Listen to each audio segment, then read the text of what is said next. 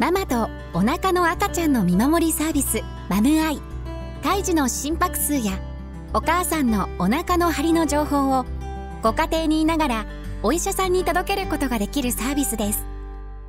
サービスには専用の機器が届けられご家庭でお腹の赤ちゃんの心音を聞くことができます。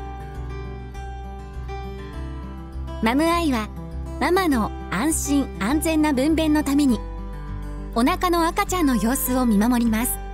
あまり難しいことは考えず。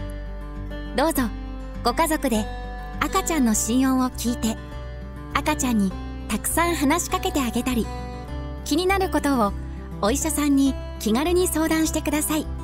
30週を過ぎたらそろそろ赤ちゃんの心音が聞こえ始めます。専用のウェブサイトでサービス利用の予約をすれば2週間後に機器がお手元に届きます。ご利用期間は2週間。ご出産の予定日に合わせてご予約ください。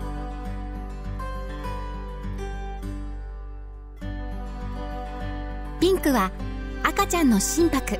ブルーはお母さんのお腹の張りを測るトランスデューサです。お腹につけるとグラフが表示されお医者さんの手元にデータが送られます。赤ちゃんが元気かどうか。お医者さんに知らせます。メロディーインターナショナルは周産期医療の新しい形をサポートします。